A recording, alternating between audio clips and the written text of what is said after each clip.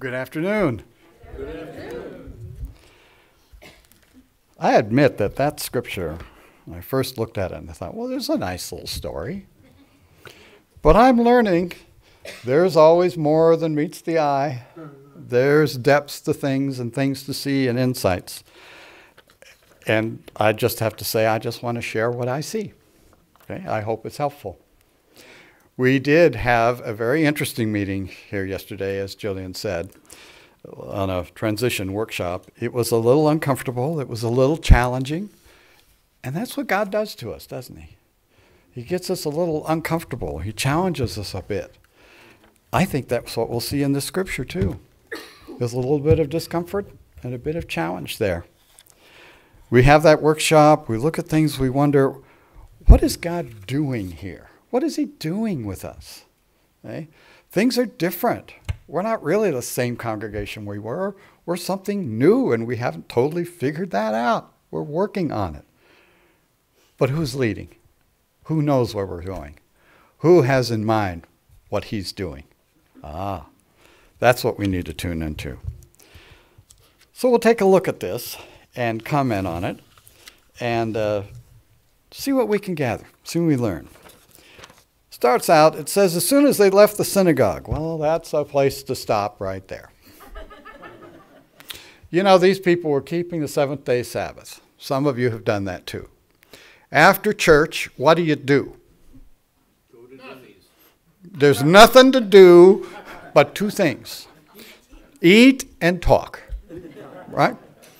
Now, this is the beginning of Jesus' ministry, and he had just done a magnificent demonstration of healing in that synagogue service, and he had astonished people with his teaching and authority. He didn't quote people, say, you know, I have this opinion here, and to quote this theologian, you see how I agree. No, he spoke with authority. He just knew, and they were kind of astonished. He doesn't have to build any credibility. He is credibility, right? So they were all kind of doing it. So after church, guess what? Everybody was probably having things to talk about, things to chat about and they went different places. It was the Sabbath, okay? So they went somewhere. So Peter says, probably, I'm reading into this a little bit, but just think along with it, his new boss, right? He's going to take his new boss to his house, okay? Because his mother in law is a great cook. She's got some things already set up and ready for us for the Sabbath. So they go over there to talk and eat. It wasn't very far, of course. And they get there, and what do they find? Now, you might say, well, he took him there because he knew his mother in law was sick. Well, maybe. But it's kind of interesting here, and I read through some of the commentaries. There's different opinions about this situation. Maybe they didn't know she was sick. Oh, you read it and see what you think.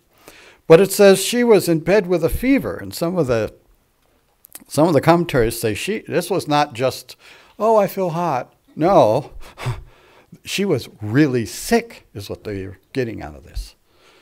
And they go in, and she must be in a different room. Where is she? Mom, Mama, Mama, they're here.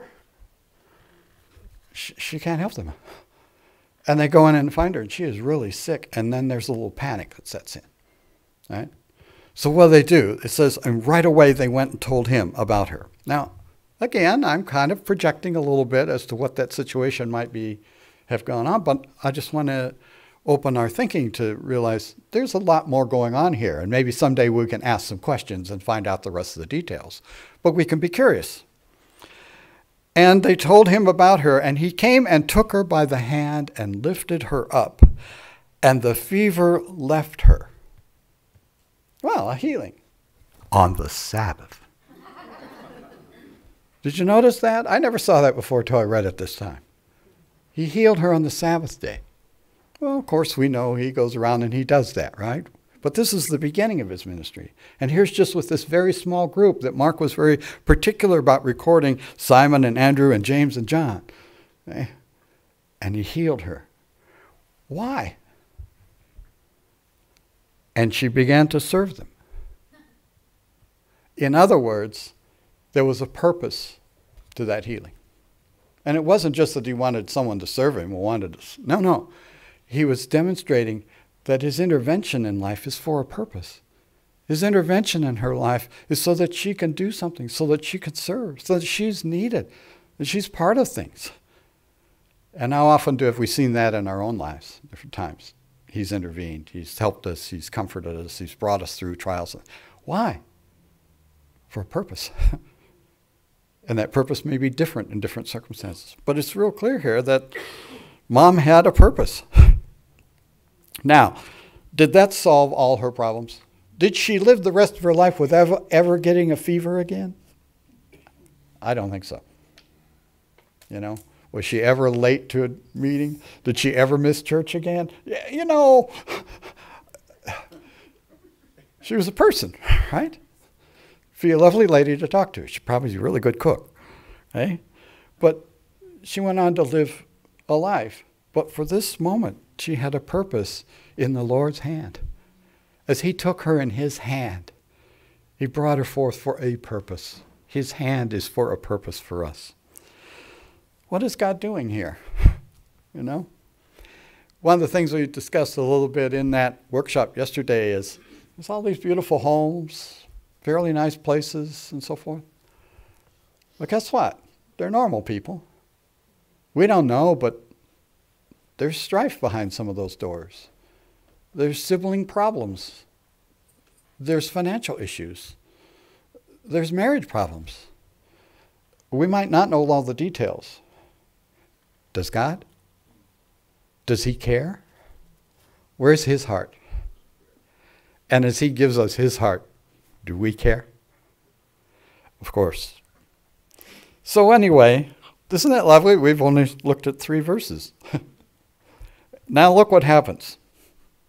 That evening at sundown, they brought to him all who were sick or possessed with demons. In other words, after the Sabbath,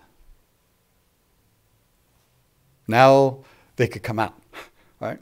Okay, now we can get back to, oh, we better take our, our sick and ill and our, you know, upset people and all these emotional problems and so forth. We go over there. And they all came.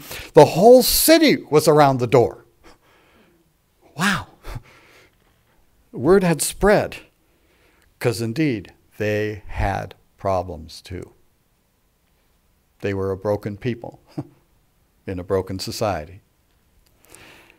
And he cured many who were sick with various diseases and cast out many demons, and he would not permit the demons to speak because they knew him. So he cared, and he healed, and he gave. Why? There must have been a purpose in that too. Yes, it helped people. Yes, that was really good.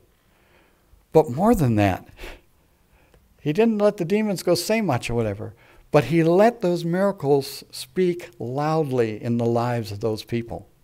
Speak loudly about what? About him. It's so interesting to me to realize this came to me while studying the Old Testament, whatever. God does some amazing things. They're kind of scary in the Old Testament. But then I realized, you know, he has no reason to apologize for who he is. And he doesn't back down on who he is. And he follows through on that.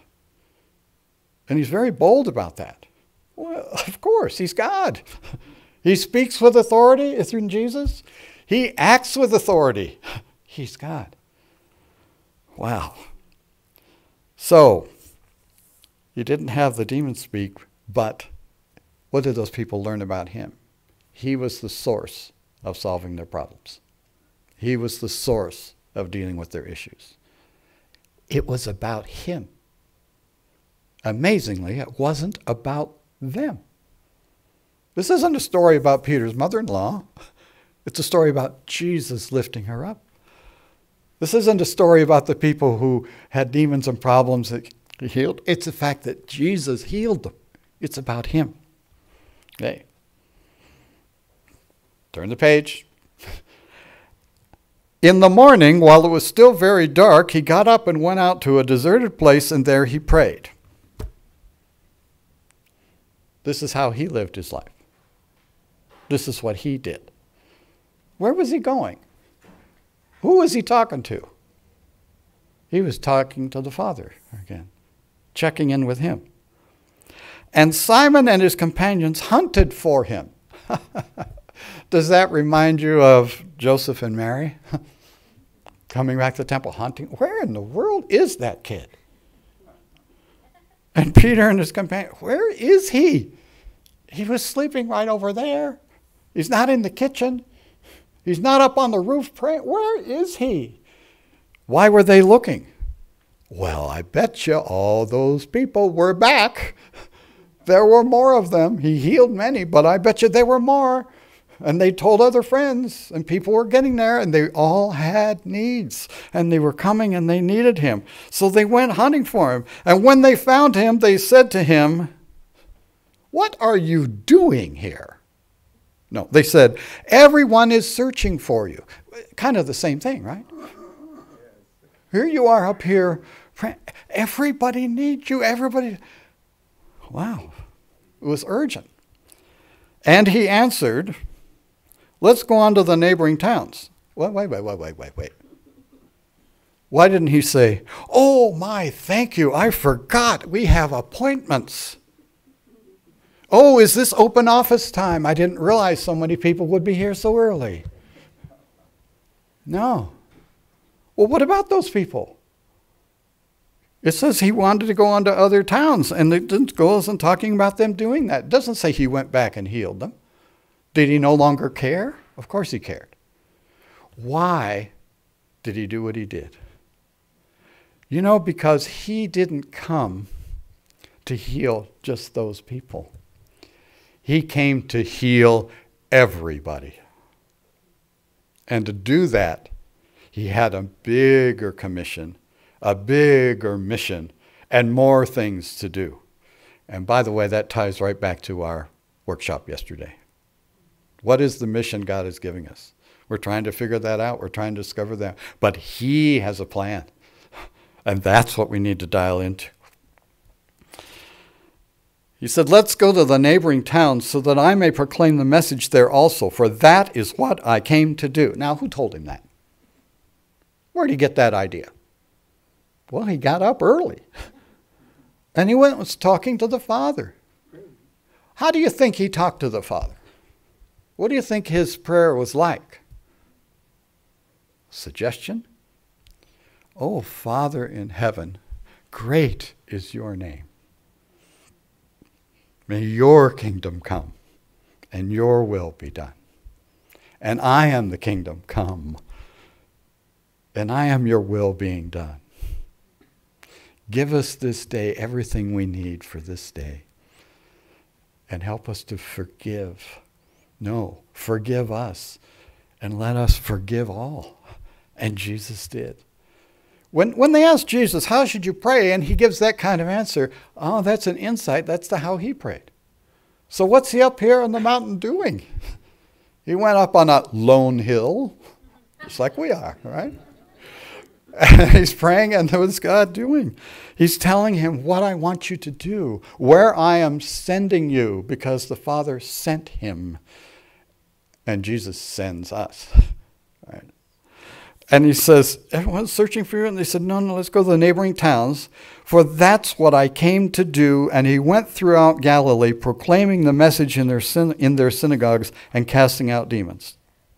He went on doing these works proclaiming the message. What's the message? He's the message. Proclaiming that the kingdom has come. He says, The kingdom is here today. Blessed are you because the kingdom is here. And they're going, Huh? What are you talking about? Not getting that He is that source. He is that answer. He's not just the one who's going to heal, He's the one who's going to heal everything. He's going to heal all their financial troubles. You know, the kingdom is coming not just to resolve some political issues, but he's going to heal both the economy and the ecology. He's going to heal both the sick and even the well, because guess what? We're all broken people in a broken society with broken promises, broken relationships. Why did he do the things he did? This is some of the things I see in here. This is just a simple, there's a lot of depth in here. And I know there's a lot of things I don't get and I don't understand yet.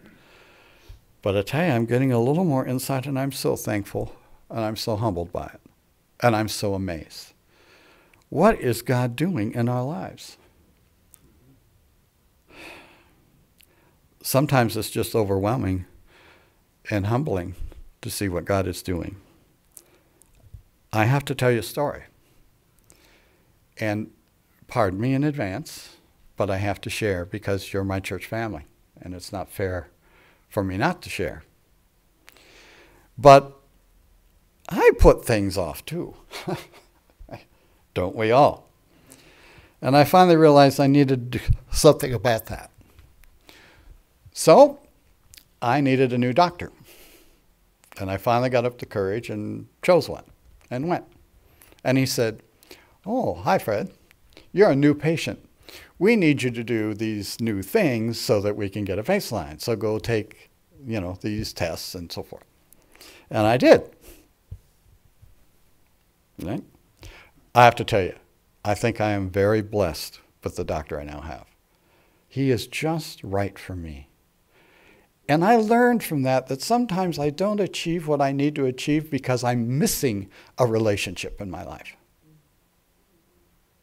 I realize I'm not making progress on that terrible garage of mine because I don't have the right accountability relationship set up to help me make progress.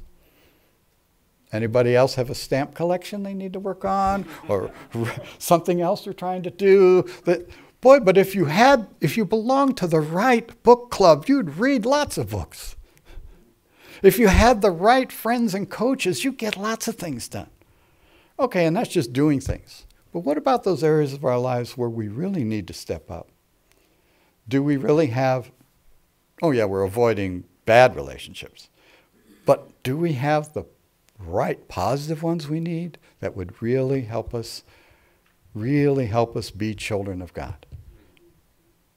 Not just get all the things done on our to do list, but really, do we have the right Christian relationships to really be the Christians we hope we are, that we want to be, that we pledge ourselves to be? We need the, those relationships to lift the bar and lift us and I needed a doctor, and I got a good one, and he's wonderful. I'm just so thankful for him. But he had me take these tests, and we began to discover things. The first thing he discovered is he said, Fred, you have type 2 diabetes. Was I surprised? Anybody with type 2 diabetes probably isn't surprised that they finally got a diagnosis. They just avoided it for a long time. Right? Praise report after about eight weeks of being more aware, and poking yourself in the finger twice a day makes you much more aware. Being more aware, my index, what's called A1C, has come down two full points. That's good progress. About eight weeks. Yeah. Uh, thank you. I've got a bit to go, but what does it tell me? I have the right relationship, I have the right help. God is helping me. I'm trying to humble myself before Him, and we're making progress. Well, I had another problem too, and I complained to the doctor about it, and he said, Ooh, we need to do some other tests. So he sent me for a scan. I won't bore you with the details. But I've now been scanned, you know, more than any any report going through a fax machine. You know. I have been scanned. And what did the scan say? Something I didn't want to hear said, You have a bladder tumor. This was not good news. And he said, Now I'm sending you to a referral to a particular doctor. And he says, I trust him. He's a really good, uh, a good surgeon in this regard. But some would say he could have a little better bedside manner.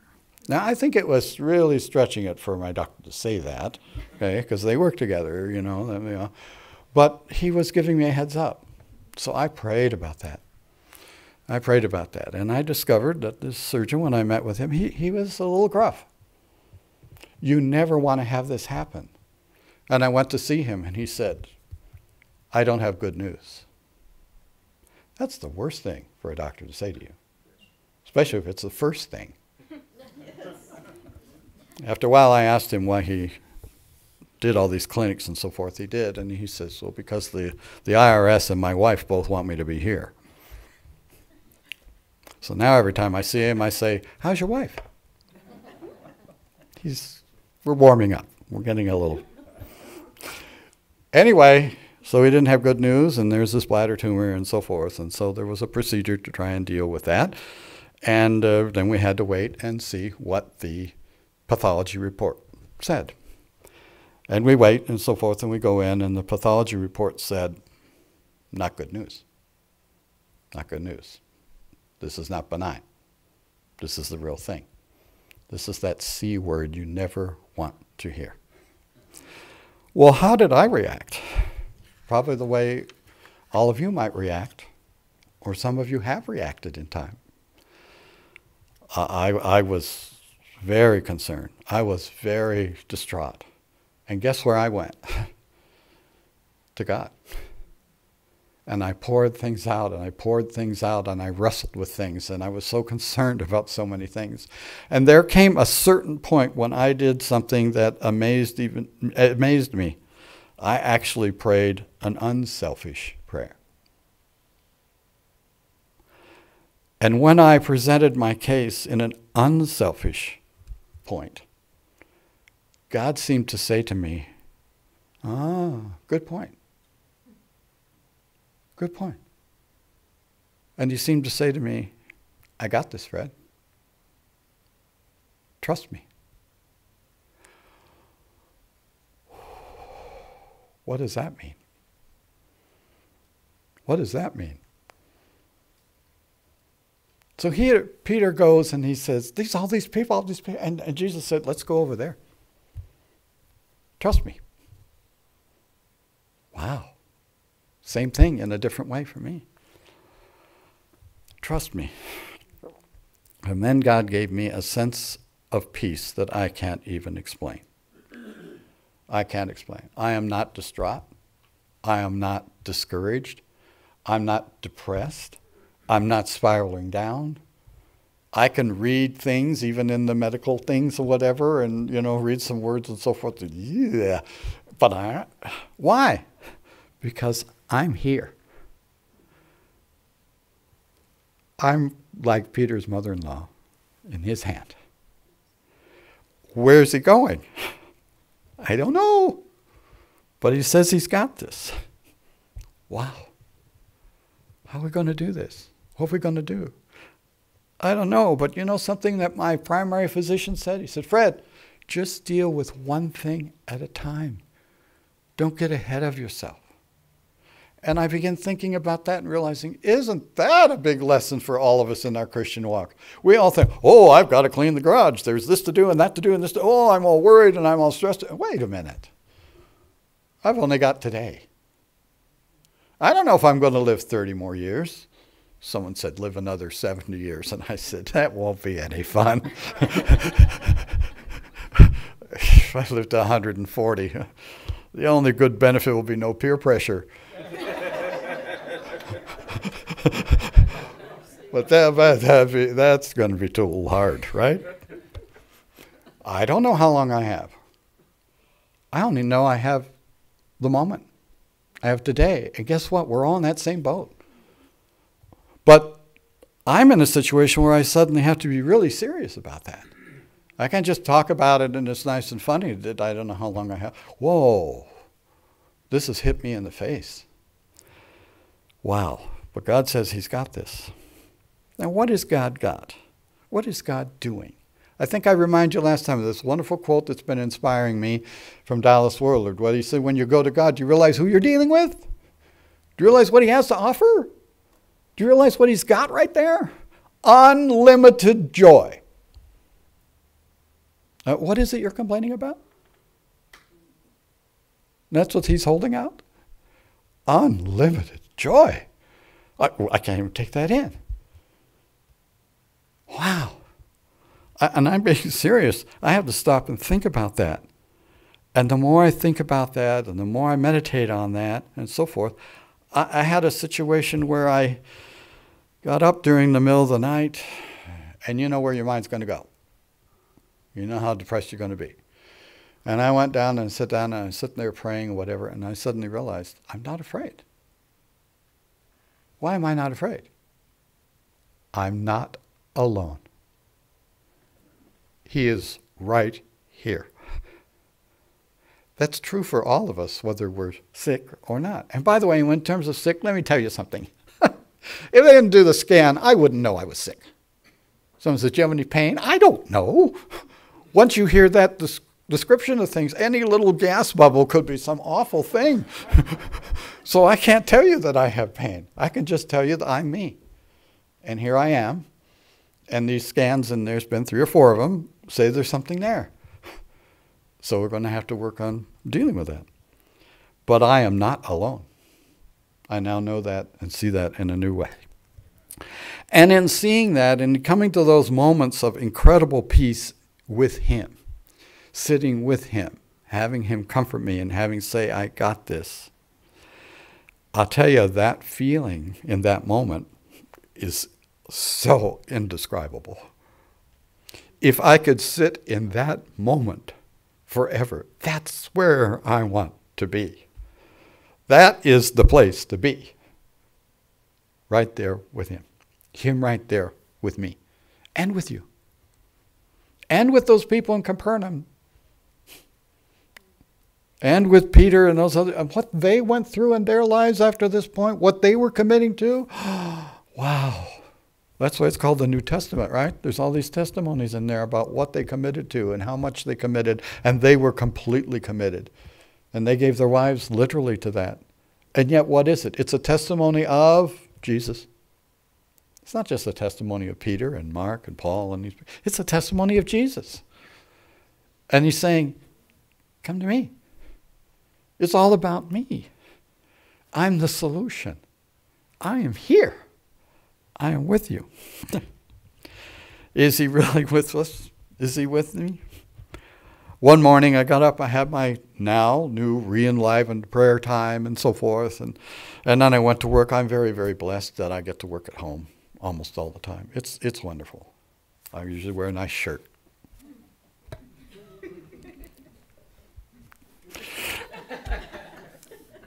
And I was thinking, God, you seem really quiet today. Where are you? Where are you? I thought I'm going to take a little break. Got up from the computer and I went outside and I'm walking in the driveway and just enjoying trying to come to God and talk with God and whatever. Trying to be alone. But my neighbor down there saw me and he motions me over. And I go over and, how are you doing? I can see he looks pretty pale. I've been saying to God, where are you? My neighbor says, oh, Fred, says, I just got back from the doctor and I have a bladder tumor.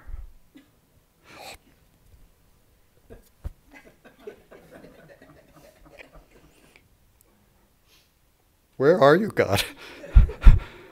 His answer I'm everywhere. Oh, that's unbelievable.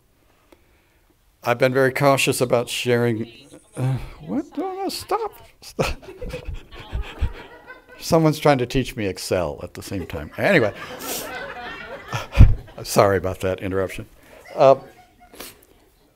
I've been wanting to share this with more and more people. I'm not anxious about this being a secret, but I have to be thoughtful and, and careful, and I've been concerned about people at work. So I finally got to the point where I told my boss, and he had two interesting reactions. He says, Fred, your health is number one. We will work with anything. The second point Fred, I don't live very far from you. Let me know what I can do.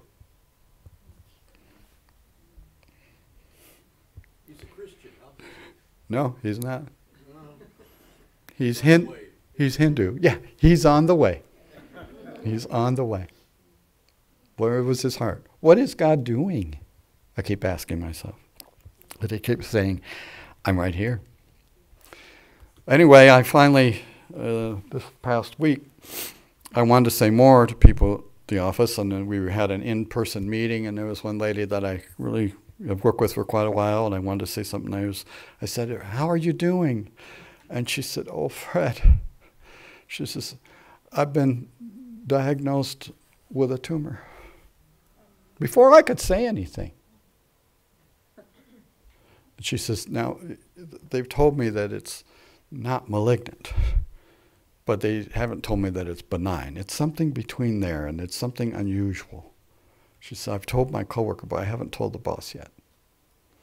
Guess what? She and I have something to talk about now. She, my neighbor and I have something to talk about now. What's God doing? He's everywhere.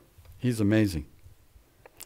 So, putting all these things together, it's one thing at a time and one day at a time. One day at a time.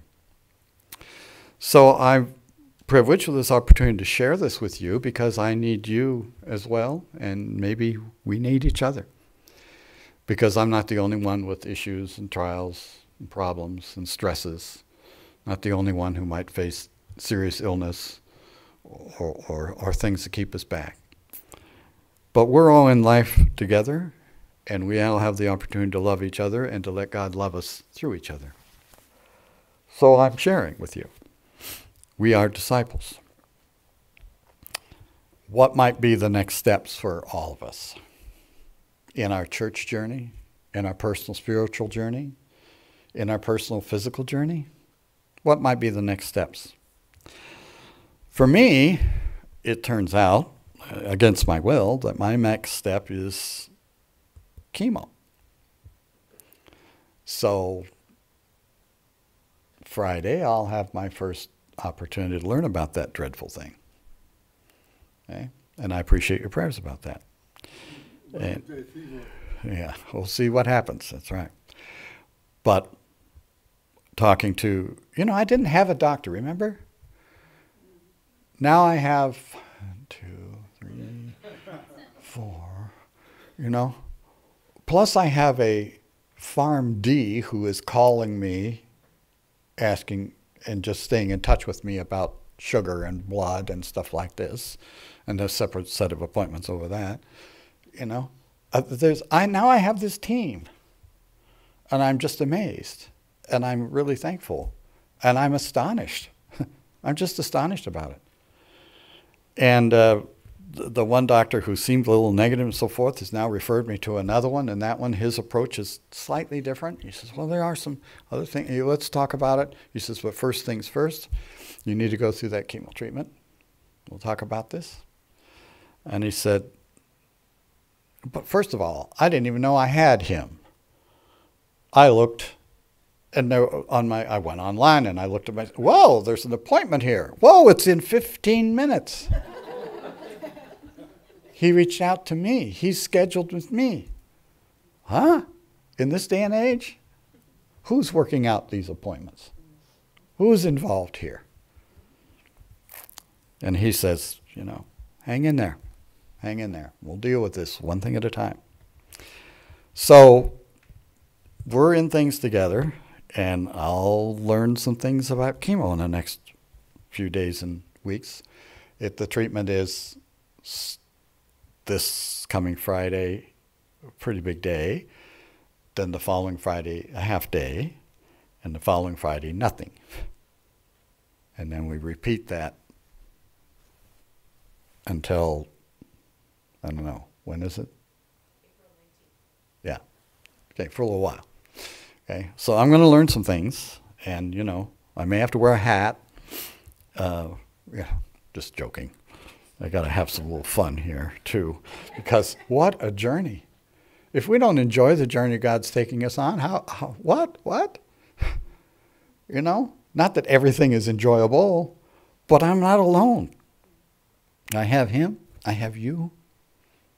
We have each other. We have Him. Okay. Hallelujah. That's right.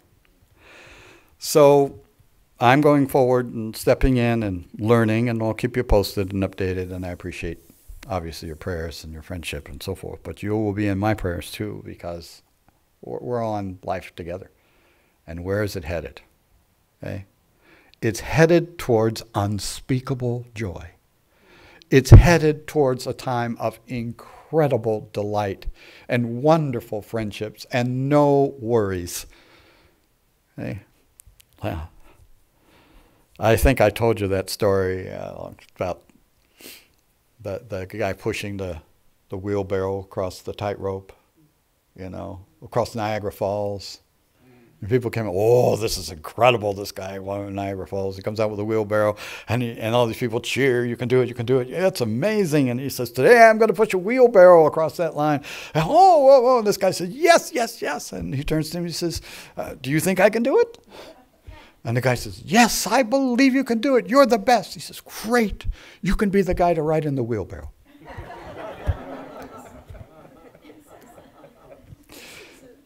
so I'm in the wheelbarrow. And I learned several things. One, we get out on that line, it's just as scary as I thought it was going to be. Two, He's God. He can hold me in that wheelbarrow on the top of the line, on the side of the line, even upside down on that line. Isn't He? He's God. Wow. Three, He never promised we're getting to the other side. He simply said, Do you trust me? Okay. Four, I'm in the wheelbarrow. I'm hanging on. I'm looking around. I'm terrified. And I realize, why aren't I turning around and looking at him? Where's my attention? Should be on him. So I turn around and I look at him. He's not even looking at me. Isn't that something? He's got all kinds of things he's doing. He's got me. I'm safe with him. And he's busy. I thought it was all about me. No, it's all about him. Oh. Oh. And last lesson, there was no promise that we're going to make it all the way to the other side. There was no promise. It's all about do you trust me? I have to just get in there and trust him. And we have to do that too just like these disciples did back here. And he said, Oh, all these people, they're standing at the door. They want you to. And, and he says, We have to move on. Why?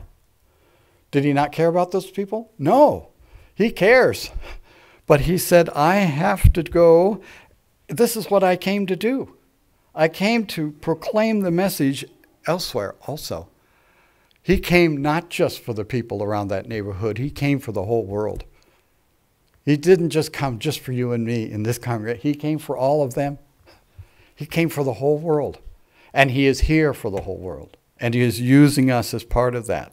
No, not just using us, living in us for that. And we have to take our next steps one day at a time and giving each day to Him. That's where we're at. That's what we're doing. I'll try and keep you posted, but I bet you you have things you could post and tell me too. How's it going for you? Where's he in your life? Has he got you in the palm of his hand? Of course he does. Can he be trusted? Of course he can. Does he have a good sense of humor? Yes. Does he have an unbelievable sense of other things? Yes, he's got. He's greater, bigger. We can't contain him. We can't even fully understand him. Okay. So, is it real? Is this really happening? Man, and I discussed this every day. What, what's, how we get into this? What, is this really happening? Well, Jesus' faith was really real. And what God is doing is really real. And He's moving everywhere and moving forward. And as the scripture says here, that Peter came to him and said, Everybody is searching for you. You know, they all are. But some of them don't know that he's the answer. They don't know that's who he's searching for. But we're all searching for him too. He says, Come on, get in the wheelbarrow. Get in the wheelbarrow, let's go. So we go. So, what's God doing? He is everywhere and He is moving forward. Let's go with Him. Amen.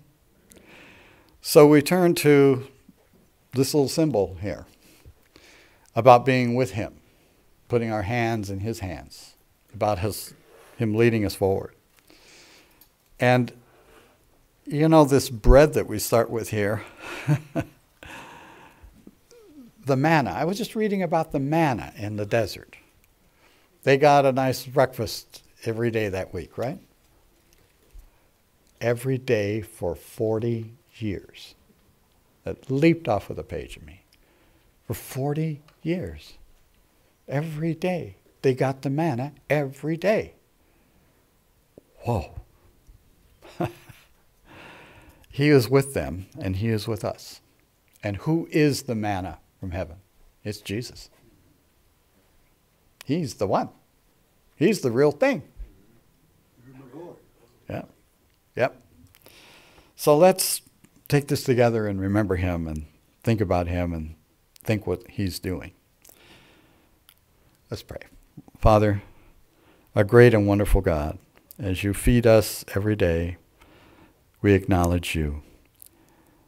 Let us proclaim your name and your greatness and your will. Let us receive of your daily feeding and your daily care and the daily dose of Jesus that we need. Your daily forgiveness, your daily help, your daily faith, and everything for us. We thank you and we ask you to help us take that in, to fellowship with you, to stay with you, and, and to lead us forward in every day. In Jesus' name. Let's take this bread and realize that Jesus' faith was real. His faith was real. And he says, Take, eat of me, and take my faith and my life into yours.